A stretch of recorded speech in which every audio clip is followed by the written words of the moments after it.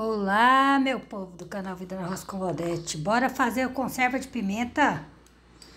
Olha só, coloquei sal, bastante alho. E por último eu vou colocar o caldo de limão que já está espremido.